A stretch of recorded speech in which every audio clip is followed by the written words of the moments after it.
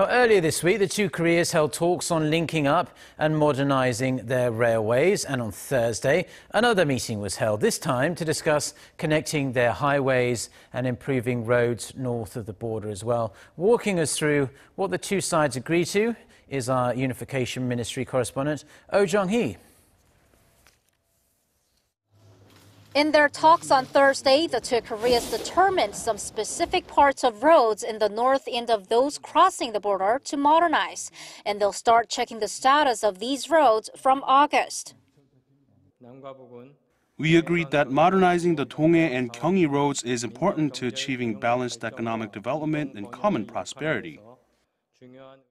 There are two roads they're hoping to work on the Gyeongui Road that links Seoul and the North Korean city of Sinuiju, and the Donghae Road along the peninsula's east coast. On the eastern route, they've decided to modernize the section between the cities of Goseong and Wonsan, and on the western route, the section between the North Korean cities of Kaesong and Pyongyang. The two Koreas will work together on the road's design and construction with the hope of holding a groundbreaking ceremony as soon as possible. For all this to happen, the two Koreas will first check together on the sections that are to be upgraded.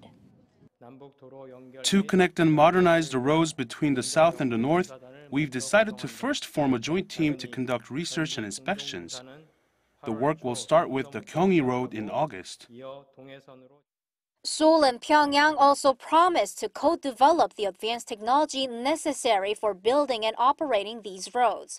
They'll also continue to exchange documents and hold working-level talks to set up practical measures for joint research and road upgrades.